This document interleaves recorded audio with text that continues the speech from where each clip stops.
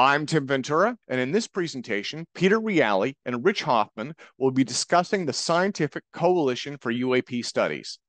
The SCU is a think tank of scientists, former military and law enforcement officials, and other professionals who seek evidence-based answers to UAP questions. Peter Reali has a BS and MSEE from the University of California, Berkeley. He had a long career in Silicon Valley as an electrical design engineer and manager of engineering projects. His specialty was in telecommunications and network information technologies. Rich Hoffman has a BA in organizational communications from Wright State University. He's an information technology consultant and strategist. He's worked as a defense contractor for over 20 years, working primarily for the Army Materiel Command HQ with a variety of companies. Well, I'll, I'll be glad to start it. And I'm going to share a screen here for a second. I've got a presentation that talks about how we got started as SCU and a little bit about us. And hopefully everybody can see that. Uh, let me see. Oh, let me increase the size here. Yeah, that, that looks wonderful. And Okay. again, I, I can't thank you enough for joining us. Oh, it's it's it's a pleasure to be able to join you all. Uh, And thanks for inviting us. Yeah. Uh, so anyway, uh, let me move to the, the next slide here. Basically, uh, a little bit about uh, SCU in terms of how we got started. First off, uh, just to clarify that we got started early on, uh, actually way before we formed as an organization. We uh, there were five of us, including Larry Cates, who is, by the way, on this call right now, and, and he's in the community. Uh, but myself, Larry Cates, uh, Robert Powell, you had Morgan Bell, uh, and you had a Carl Paulson got together in uh, roughly around the uh, 2013 timeframe to actually study a, a video that was released to us from the Homeland Security a- uh, Department. Uh, it was actually a Customs and Border uh, Patrol aircraft that was in Aguadilla, Puerto Rico. And all of us had been, uh, or were members of MUFON uh, and held different kinds of positions in that, but we all managed to come together from the standpoint of science. Uh, Robert Powell was the uh, director of research. I was state director. In addition to that, I was also playing a deputy director of investigations at the or, for the organization, as well as I got into a director role looking at strategic projects, which was basically about you know doing technology uh, uh, pushes of technology, if you would, to the field for study. Uh, so anyway, bottom line is we got started with this case uh, and spent uh, about a year and a half to almost close to two years studying the uh, three minute and 54 second video that was handed to us. And each, each of us took different roles to write different parts of the paper. Uh, Larry did a, a great analysis and he was our mathematician to be able to help us to, to do the study. Uh, we had uh, a physicist, Carl Paulson, that was on board. Uh, Robert Powell comes out of the, uh, the semiconductor industry area. Uh, Morgan Bell is working with environmental services and stuff like that. And then, of course, I worked uh, in the IT department over for Army Materiel Command here at uh, Redstone Arsenal.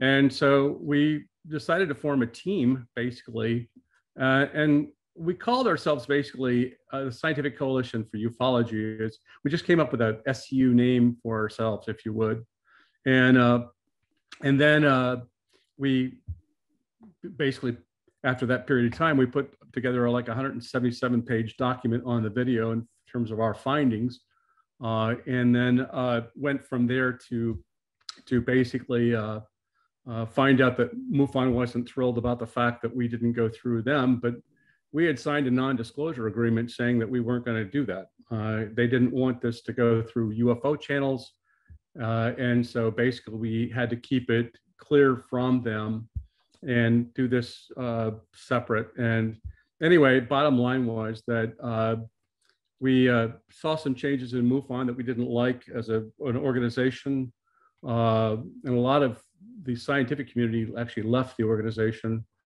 Uh, and we decided in roughly around 2016 to kind of like start uh, an organization and make it more formalized. And, uh, and so then by 2017, we, we got started as a scientific coalition for ufology. And later on in 2019, we decided to change our name to more of like the Scientific Coalition for UAP Studies. Uh, and we, that was a, a change to get away kind of, you know, from that term UFOs, which uh, always has a stigma associated with it. Uh, we chose to use UAP in the context of aerospace phenomena as opposed to the typical aerial phenomena because I mean, you start to have to include uh, the fact that these things are water, they traverse in water, they traverse in air, and then there are also some reports that are, uh, of space kind of like uh, anomalies being seen. So it covers the gamut. And if you look in, in the military world, aerospace actually means kind of like all three of those mediums. Uh, anyway, so uh, then we we decided that we are going to be a 501c3 charitable organization, and we set that up, and we incorporated in the state of Florida on August 2nd, 2018. Uh, we're way over 125 members now. I think we're up at the, the last count was something like about 155 members. Uh, most have advanced degrees from countless disciplines. We got all different kinds of things like scientists, engineers, uh, ex-military, former military, law officers, uh, and then a whole host of business professionals. And as you pointed out already, you've you know you've had a great number of us that uh, have been on your uh, uh on the APEC uh, conference. We've had Detlef Hoyer is also a part of SCU. I don't even know if you knew him or not, but Kevin Knuth, Matthew Szydagis, uh, Frank Milburn, and a number of, of others probably are will be on or something like that. But we're all part of SCU and decided to to go that route.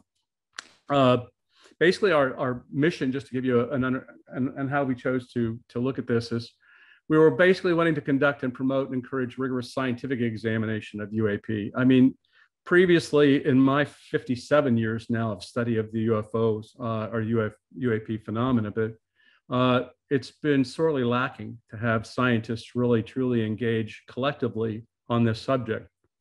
Uh, and so we wanted to be able to get a scientific approach dedicated solely to the phenomena and really looking at it and doing the, the right things, you know, putting together, you know, hypotheses, testing the hypotheses, looking at uh, getting, putting together papers, having those peer reviewed and getting them out there and then even published in, you know, some sort of a journal. Uh, we also, you know, obviously endeavored to use scientific principles, as I just got through saying, to study the phenomena.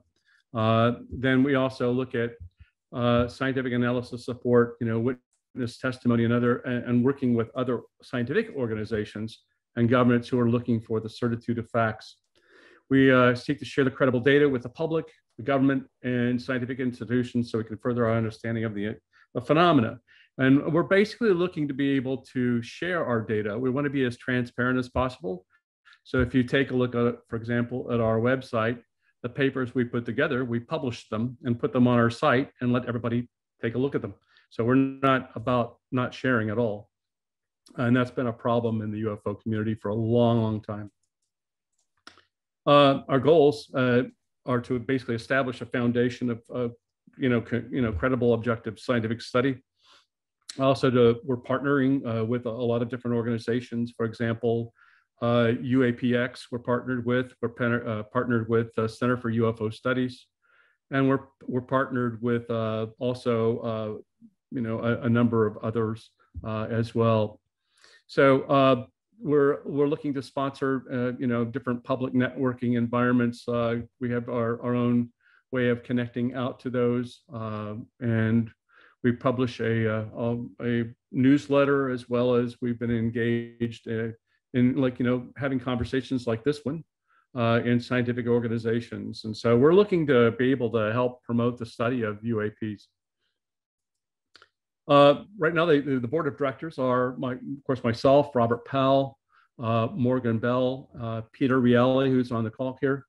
Uh, you have uh, dr paul kingsbury. You've got larry hancock and then we have two people that are emeritus. Uh, Larry Cates, as I told you, is on is right now attending this conference, uh, and Carl Paulson are both emeritus. Then we have, uh, and this is outdated now. I'm sorry, I, I didn't get that changed. Uh, Jonathan Lace has just left us, and we now have uh, Stephen Purcell, who's taken over the role of public relations officer. Uh, Steve Sharples is helping us out with senior IT program management. He helps with the website. And then we have a, a board of advisors, if you would. Uh, we got uh, Sarah Little, who is uh, our science advisor. Alejandro Rojas is doing media and PR work. Uh, we have a Dr. Joseph uh, Donato, Donato uh, who is also our national security advisor. And it's this is incorrect. It's not doctor yet, but he's working on it. He's just about there getting his doctorship, and I made a mistake on that. But it's Josh Pearson.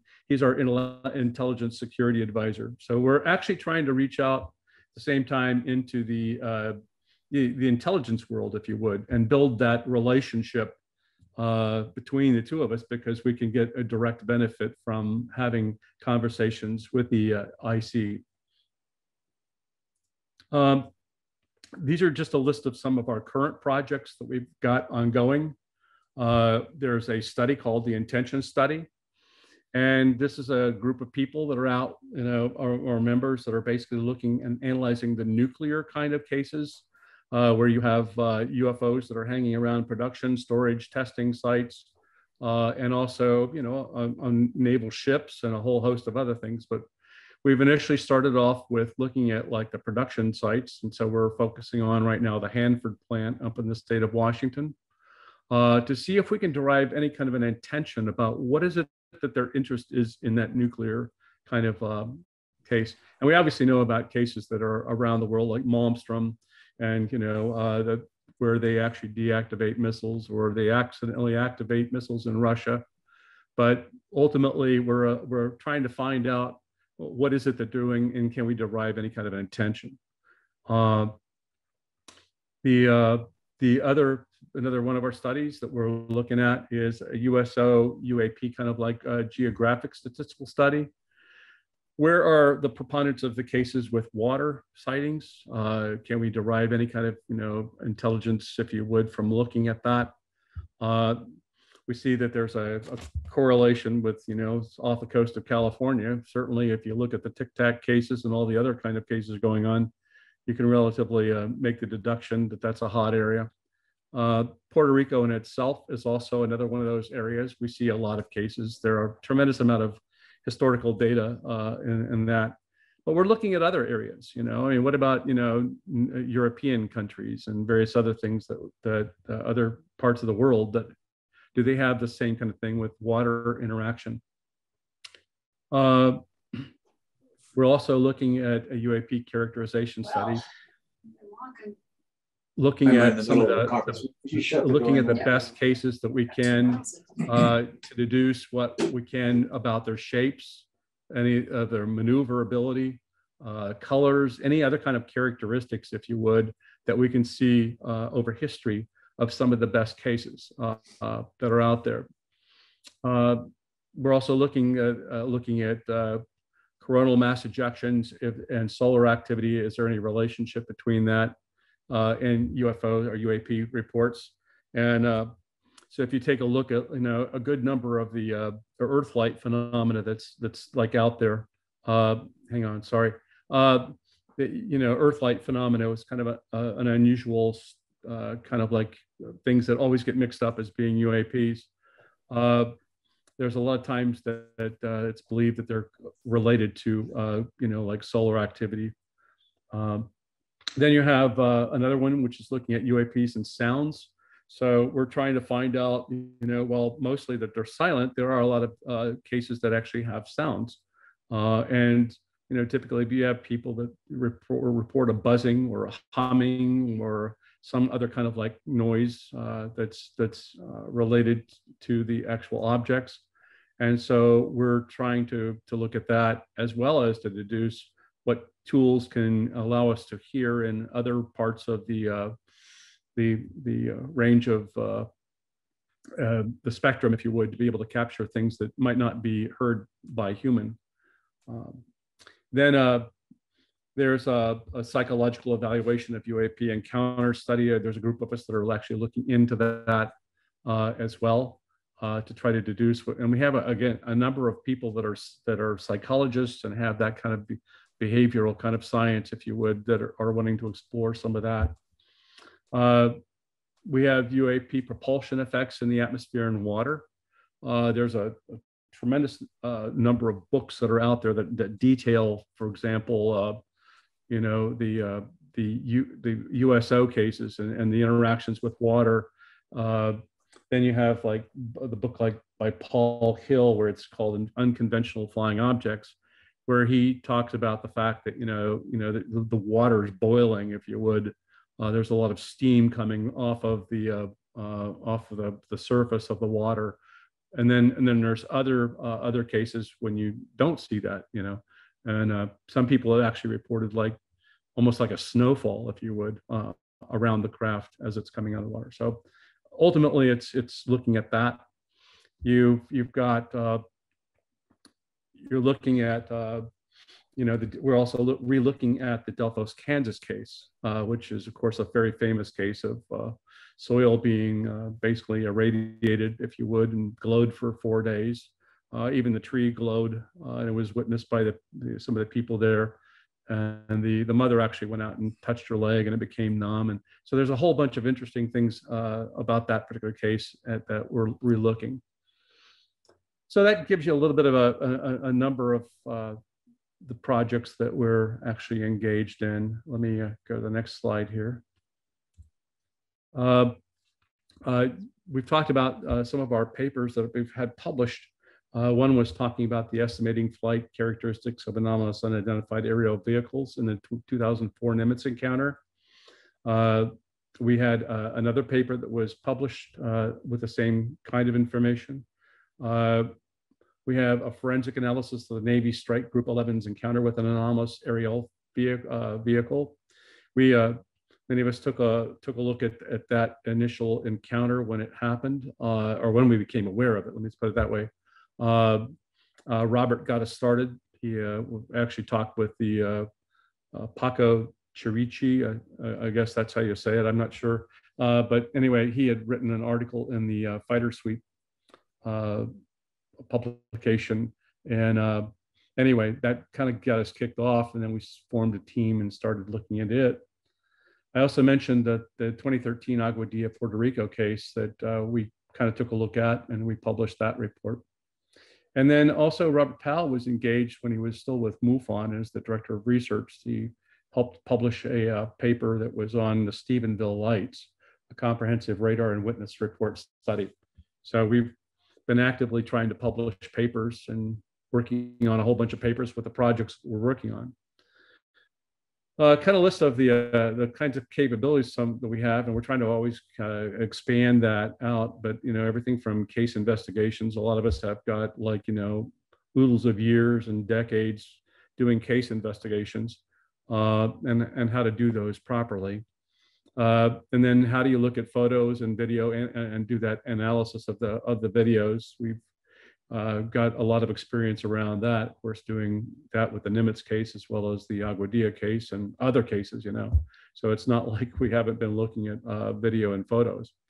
Uh, isotope analysis we've done. Uh, we've done, uh, in fact, that was on the Ubatuba case. We've done some of that work. We've done worked with acoustic signatures analysis. And as you may or may not know, there's signatures management going on with many of these objects uh, where they're able to do things like jamming and, and having electromagnetic effects that can shut down navigation systems or missiles or that type of thing. Uh, and then, of course, theoretical analysis of that. Some of the research uh, we've done is chemical signatures, material science, and mathematical statistical modeling. And we're doing that with a, a number of the things that we're engaged in right now. And of course, we, we help with doing peer reviews for others as well. So if you have an interest in having us peer review that, we can do that. We, uh, we're also putting out there the fact that we can work, you know, with, of course, with government agencies. And we've had engagements trying to encourage, you know, the, the whole Pentagon task force and a number of others to be able to start sharing data and getting that out to the scientific world, if you would. Uh, that needs to happen with people from academia or people like us, or you know, just getting that out there because that's going to help us to be able to get an understanding of this uh, phenomena. And then we've been connecting with, you know, everything from people on, uh, up on the hill already. Uh, we're making uh, sincere connections with a, a, number of senators and, and various other people uh, to encourage uh, that they get this thing uh, studied properly. Uh, we're also, we can support academic institutions and, and help them in their studies because we've got this rich history of uh, many of us being in the UFO phenomena for a long time. And then of course, working with partners and research organizations as well. So we're, we're hoping that we can, you know, do that uh, and in terms of making good, strong connections and, uh, and really getting a great team of people that are willing to actually do the hard work to be able to study this phenomenon the right way. Uh, we have a variety of ways you you know people are joining uh, SCU. There's uh, there's got partners, of course, I mentioned. Uh, we have community access members. We formerly called them affiliates, but now they're community access members. And so there's a lot of people that are you know checking us out at first and then deciding whether they want to contribute uh, in some form, uh, like working on projects or in some capacity. Uh, and then we have senior contributing members. So if you are interested in joining us, I can show you, uh, there's a contact page up on our, our website, or you can send an email to exploringscu at gmail.com. And that will allow you to get connected to us. Uh, I mentioned that we have partners. I mentioned the Center for UFO Studies, uh, J. Allen Hynek Center. Uh, a lot of us were working with a project called UFO UFO Data, uh, and that's basically, again, creating some sort of a technology capability that you can place where you can capture data from hotspots or something of that nature. We're working with UAPX, as I mentioned. Uh, in fact, by the way, uh, Dr. Kevin Knuth was just promoted to uh, vice president role of, of that organization. Uh, and we have NARCAP that we're also engaged with. Uh, NARCAP, of course, was Dick Haines, looking at a lot of the uh, aircraft safety in relationship to UFOs uh, or UAP. And he's done a tremendous amount of work. And Ted Roe is pick, uh, picked up uh, after uh, Dick retired uh, and is carrying on and doing a fabulous job. so anyway, that's it. We have a website that, that's out there called explorescu.org. Uh, we have a Facebook presence. Uh, we have a Twitter account that we've got. Uh, we're on LinkedIn. And uh, as well as that, we're on YouTube. And we try to keep up with, uh, again, informing people about the subject and our studies uh, through these different means. in fact, let me switch gears for a second out of this, if you don't mind. I was going to show you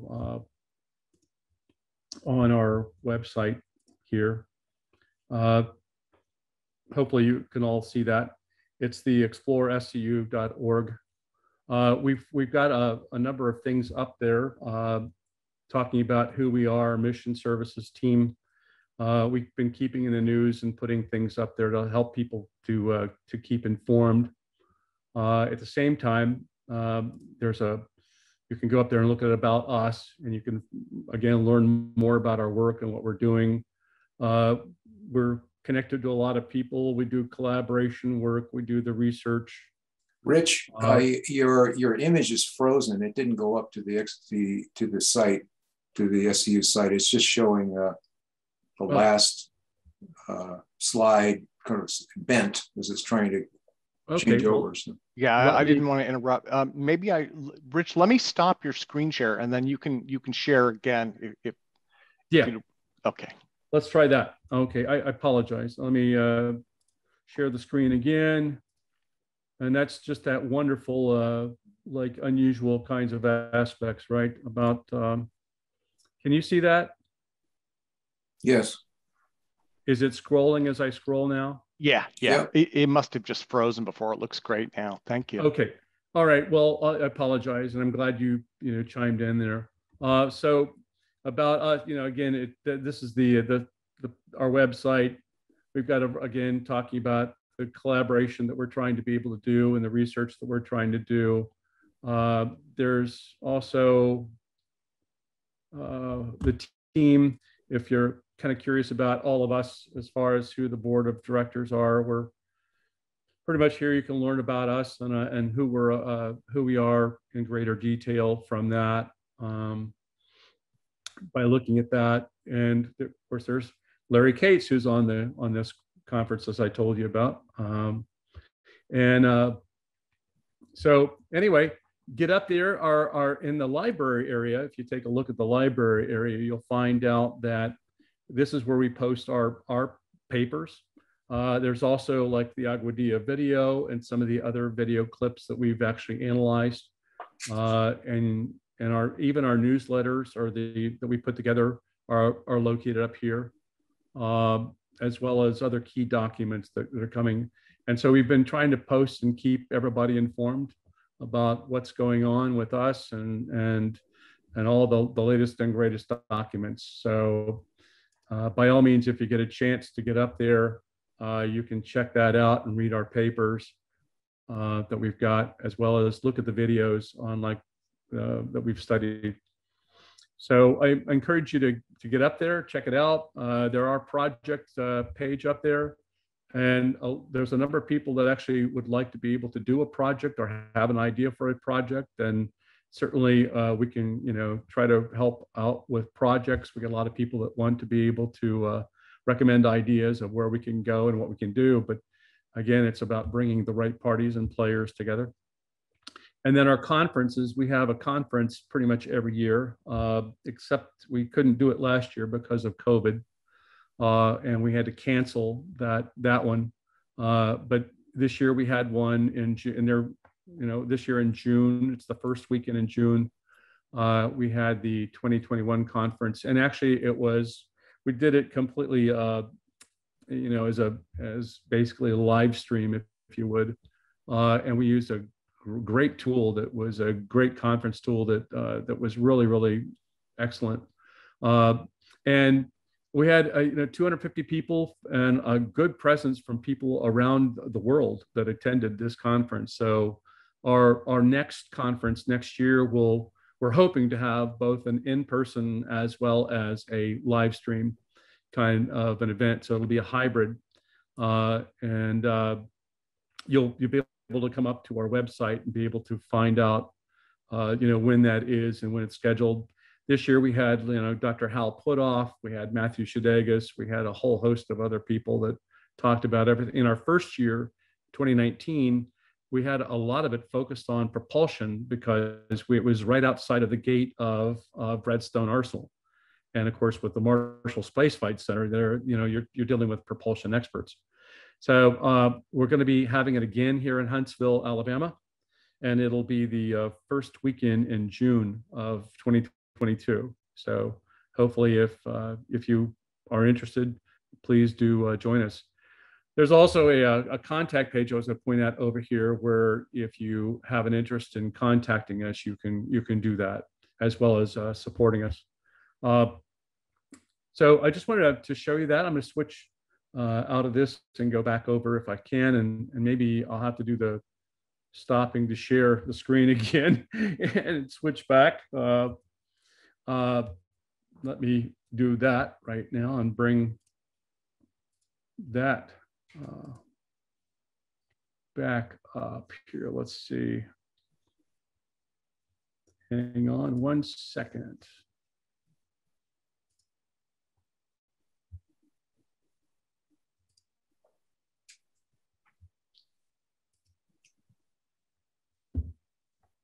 Well, let me uh, see what's going on here.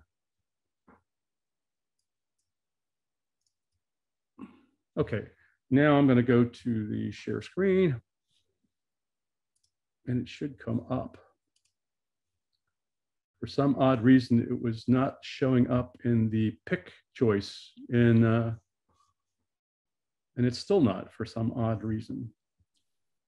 It's software yeah, don't you love it? You know, you want to be able to go over and, and to bring it up, and it's not for some odd reason showing up now when I want to be able to go and choose it for the share. Oh, is this something that I could assist with from our end, or? Uh, well, I you don't. I don't think you have the presentation, but anyway, Uh, let me see if I can do this a second here again. And I apologize while we do this wonderful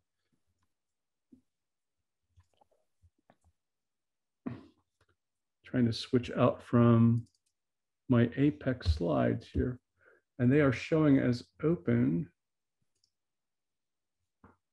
Well, okay, bottom line was I, that was pretty much, now I'm gonna get out of this because that's pretty much it anyway. And, and why, why go about trying to put you through this painful thing? Uh, anyway, uh, that's for the most part uh, who and what we're about. Uh, we're uh, we're growing. I'm glad to see it. I can share with you that in my 57 years with this subject, starting at age 13, uh, I've been I had the pleasure of working with the people, some of the people at Project Blue Book in Dayton, Ohio. So I was connected at that level. Uh, and now to be able to see that there's this uh, governmental activity around the subject right now, it's pretty thrilling, if you would.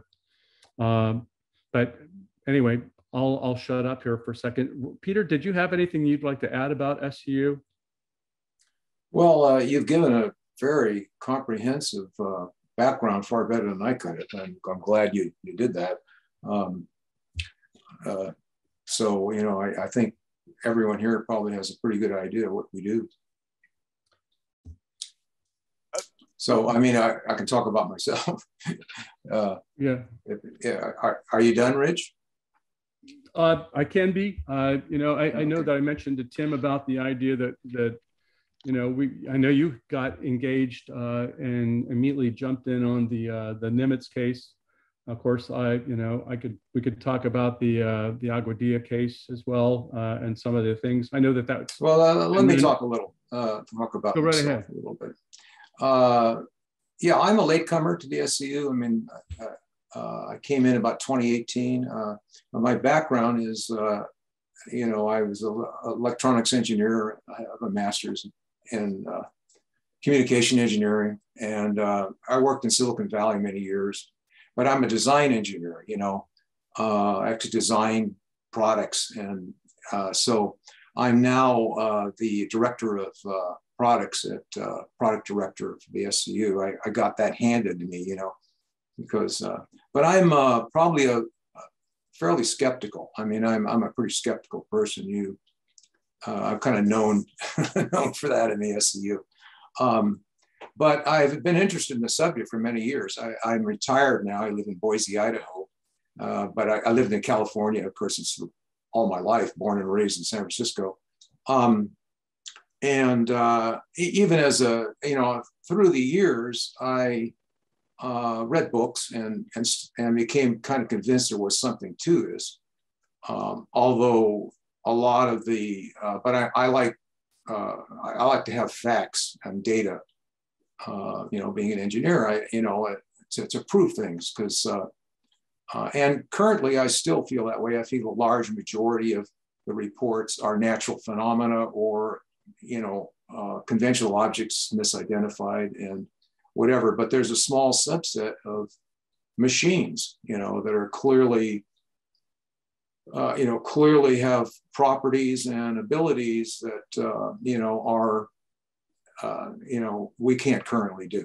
And uh, so I came in about 20, I, I was, uh, I actually contacted MUFON uh, because I, I don't know, something got me started thinking about this. I'm retired, you know, what do I do now? Well, I, am a foot photographer. You can see back here, I, I that's a, one of my primary interests. Uh, I, I, I, like to do photography. And, uh, but, you know, I, I, had some spare time. So uh, I, started looking into, uh, you know, this subject. I've read a lot of books over the years.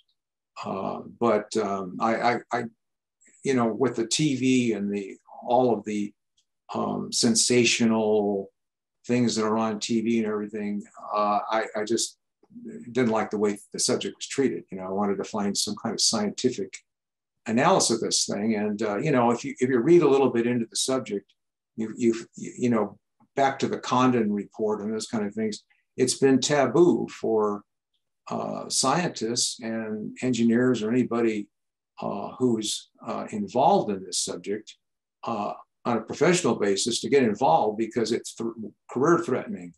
And uh, pilots and airlines uh, don't want to report it. The, the pilots could get, uh, you know, lose their jobs.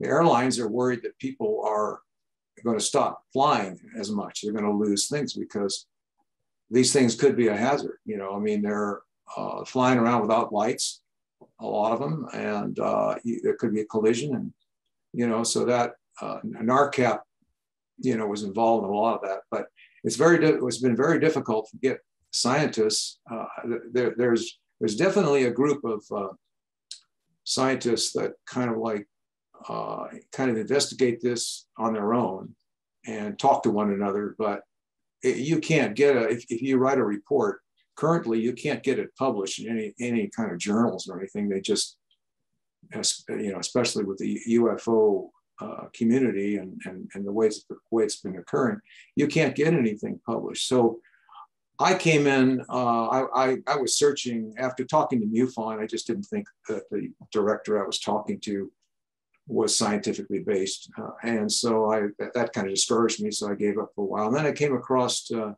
website uh, that Robert Powell had, uh, had put up about the SCU and it, they said they were scientifically based. And so that attracted me. So I contacted him and that led to my joining uh, in 2018. And I uh, was work, I worked on the uh, SCU paper with him for about a year and a half. I mean, these papers take a long time uh, Robert is extraordinary in his detailed. Uh, he interviewed me. Okay, just as a background, the Tic Tac case, we were working on it a year before it even became public in the New York Times. Uh, and uh, we had interviewed many of the, uh, uh, many of them, a, a, subset of the pilots and people and radar operators that were involved in this. And so we knew there was something to it. And we actually recorded their uh, sessions and stuff. And, uh, you know, Robert and I started working on the actual writing of the paper and um, putting together a timeline of it. And uh, I started doing some analysis on, on there's like three different, uh, three different events kind of reported in the whole constellation of stuff that went on in the report.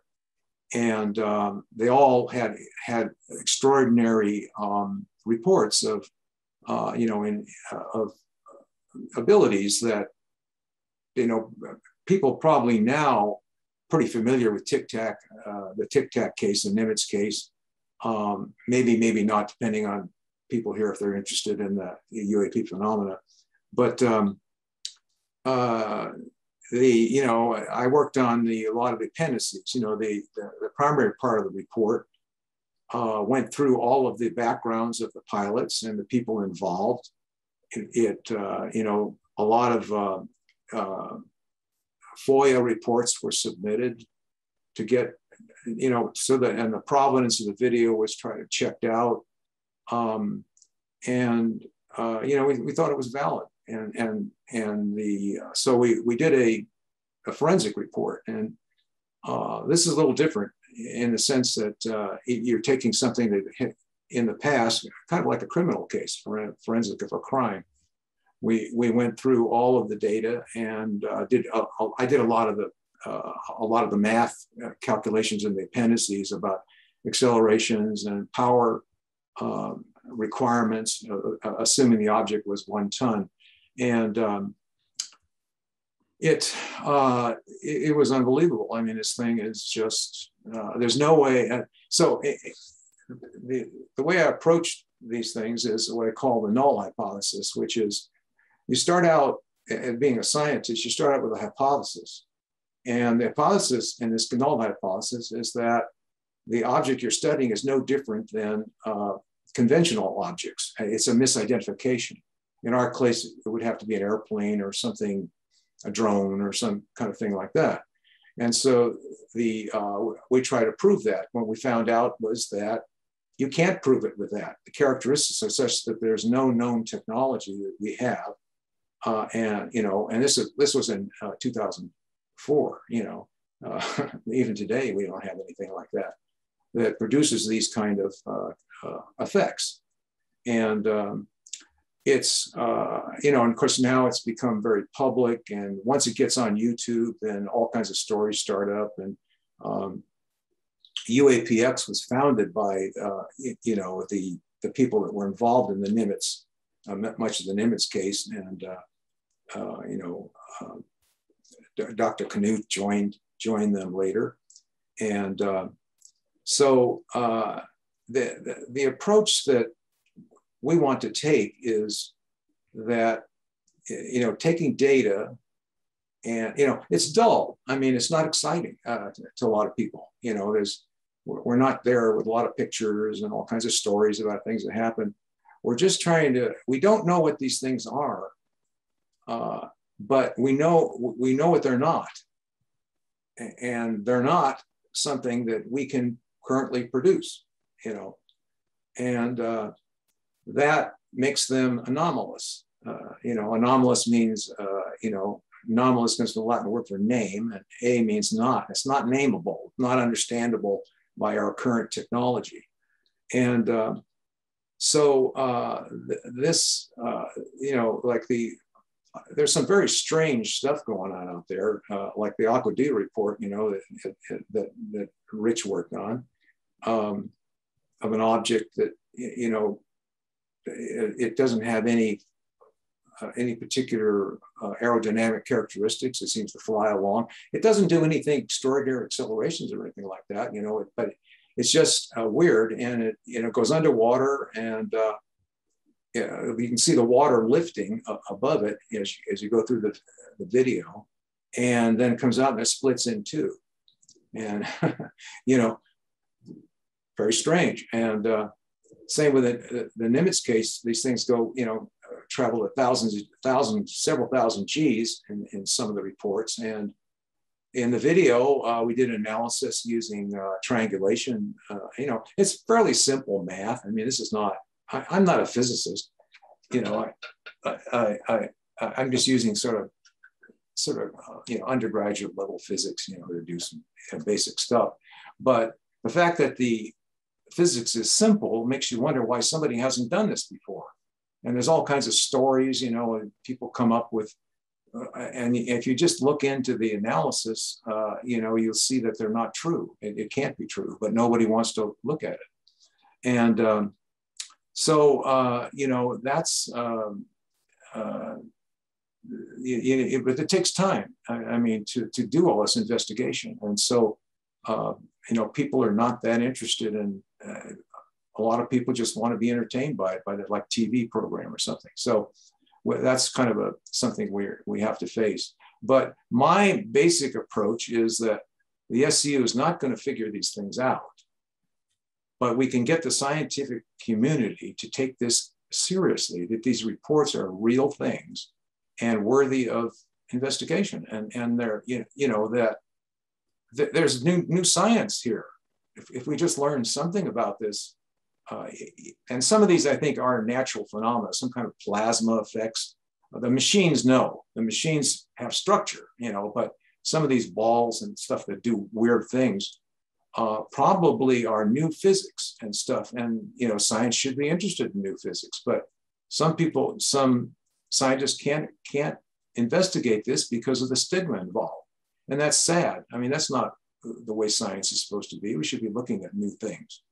And so uh, that's my main motivation uh, uh, for this. Know, that's why I came into the, into the program. And I think, uh, you know, Rich has given a great overview of the SCU and it shows, I, it, shows that just with hard work and not a lot of, of publicity and trying to do things that if you have quality, if you do things with quality, uh, people will start respecting it. And, and that's kind of the approach that, that I take. So um, that's my background. We have, I, as a director, uh, Rich has, has talked about the different projects we have. And so uh, we don't generally, and those will all end up in reports that will become public.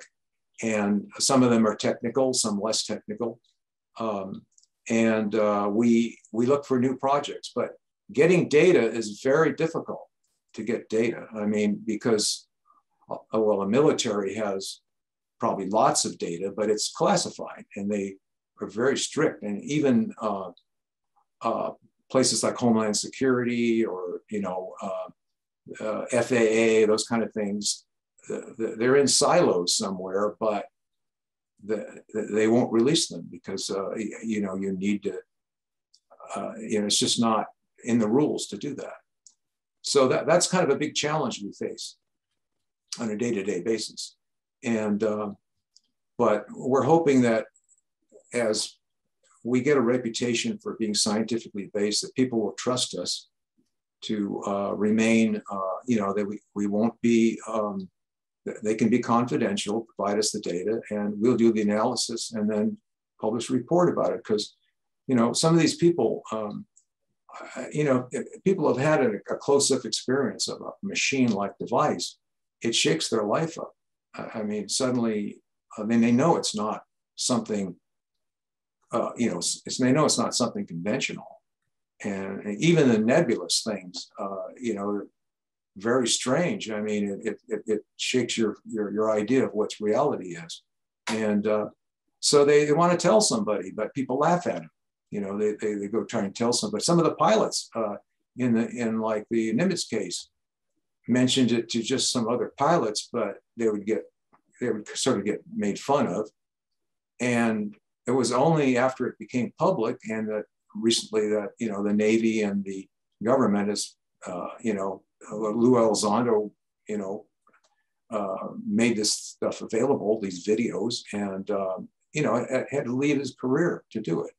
And uh, you know has made has helped make this progress to where it's now starting to crack the barrier you know that to to being investigating these things and not be so um, you know so uh, uh, dangerous to do it. And we're um, uh, you know uh, I, we're seeing a little of that. Uh, I, you know, in I recently was in a uh, a, a, conference with the AIAA, which is the American Institute of Aeronautics and Astronautics, who uh, are concerned about flight safety uh, from this pers perspective. And, uh, you know, uh, they actually haven't really been able to do this because of the, the stigma associated with this. And so, um, you know, uh, there's a pilot, Ryan Graves, who, a Navy pilot, flew uh, F-18s out over the thing and has seen these things. And he says they're very common you know, out there. And he's very concerned about flight safety. You know, I mean, you know, you could run into one of these things because they don't, you know, they're not, um, they have no lights, no communication, no anything. You know, if, you, if they if you you could run your plane into one of them, if they they seem to try to avoid uh, you know contact. Uh, that seems to be uh, you know characteristics, but you know we don't know uh, we don't know what you know, just well we need to understand it better. Uh, you know, and inform pilots and pilots shouldn't have to worry about their career reporting these things. You know, it, it, it you know, it, this is a fundamental freedom. We should be able to talk about these things. And so uh, that's the um, uh, kind of summarizes it for me, um, you know, in, in, my approach to how this this thing is. But um, I, I, do think we're making progress. It's slow, but uh, you know, it, I, am in for the long term as long as I, I can do it anyhow.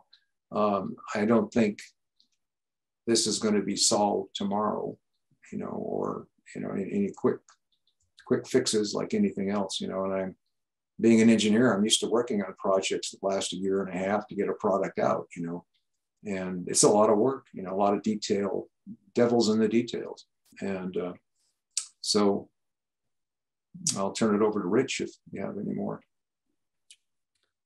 I'd be happy to. I mean, I go for a few more minutes and stuff like that, and telling you a, a little bit about you know some of the things that I've been engaged in over my 57 years. I talked to you about investigating many many thousands of cases, and so you talk about some of the things you were talking about in terms of like you know objects radiating heat, and uh, you know you're talking about objects that like you know we, we tend to like you know generalize to all UFO, UFO phenomena if you would or UAP phenomena and we shouldn't do that. Um, you know we make assumptions that all craft are the same size. They're not.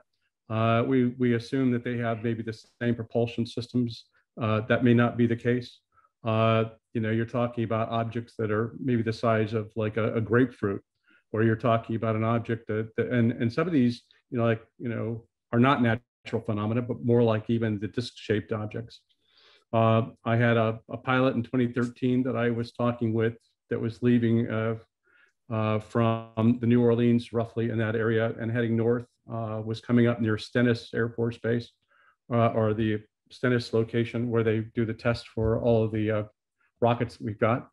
and bottom line was uh, he's flying in a Cessna and he's got an object that's four feet in diameter that's silver that's underneath his wing.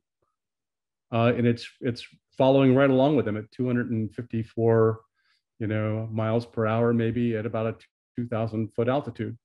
And it stayed with him for a little bit and then decided to drop back and and you know you could have left it there and and and he went up and turned around and came back and he couldn't find it anymore. But but uh, had you left the case there, you would have missed the fact that that six we went to uh, six different radar stations, FAA, and we managed to find the object being picked up on one uh, tracking station that was in Alabama, and you could actually see his you know his aircraft in position, and you could see that the object pulled back, like we talked about, and went from that 200 200 miles per hour speed, if you would, and dropped back to being 25 miles an hour.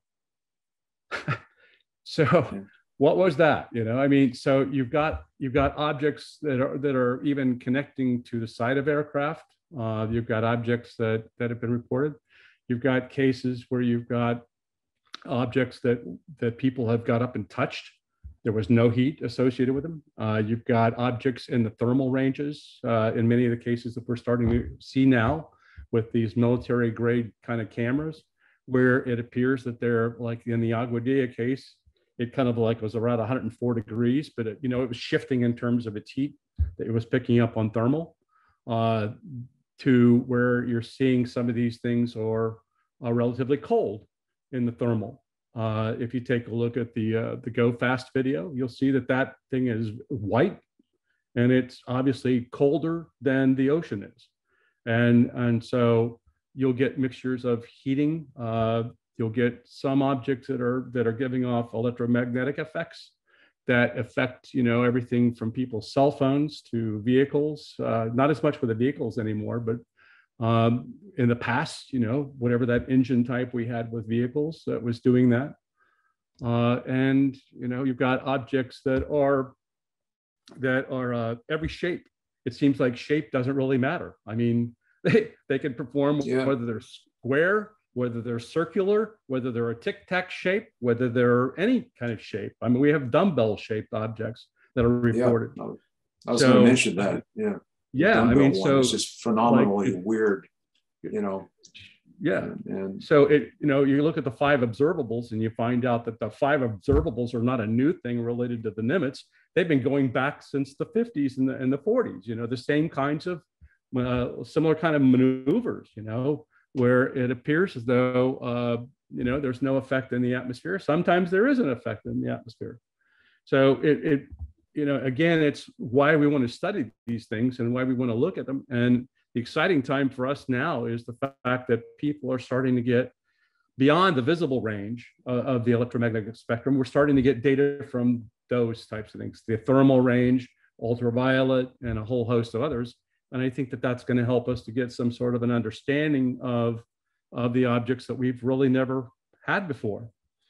Uh, yeah, I think anyway. that's uh, an important thing. You know, is that the, it's been the technological development of the with with in, common infrared cameras and uh, especially the targeting pods in the you know the military can actually uh, capture these things and track them now, which was really never possible before uh, you know, any kind of detail. And uh, that has, you know, uh, you know, that, that has made it uh, much more sightings going on, you know, than, than there were before and become available. And uh, so you know, that, that's what we need to do. I mean, as a civilian group, uh, I, I think we're going to have to collect our own data uh, because I don't think the, the government is going to likely release much to us uh, as you know, because it's mostly classified and they're worried that it'll give away uh, secrets about their you know abilities and, and technology.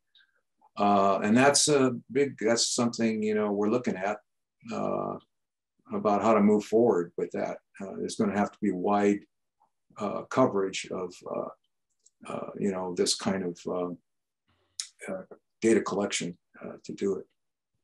The we, we do know that there's a, a strong correlation between UAPs and nuclear. And so if you thought about it, you could create something called a honeypot, which basically lures whatever bees or various or these objects to the honeypot, if you would. And if you had that area located with, you know, all kinds of, you know, surveillance equipment and cameras and you name it, every kind of like equipment tool, you might be able to capture something. And that's something that's being explored both on the military side as well as in the, the commercial side, if you would, about uh, utilizing that. And so we're also engaging uh, UFODAP, which is an organization, uh, or a, a, not an organization, but product development by uh, Ron Olch, who is uh, developing these kind of like cameras and tools to be able to actually discern and dis distinguish uh, objects, natural objects from what may be unidentified. And you could position these tools uh, and having feeding data to us, and we could set these up in key locations uh, and then have them ship that basically that data to us in SCU to be able to study. So that's one potential idea that we're looking at for collecting our own data that Peter mentioned.